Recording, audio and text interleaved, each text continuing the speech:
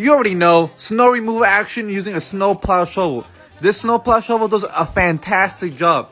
It just sucks that this sidewalk had a lot of cracks. So whenever I hit a crack, I felt it all the way in my heart because that shovel went all the way up there. Other than that, this snow plow shovel works fantastic, man.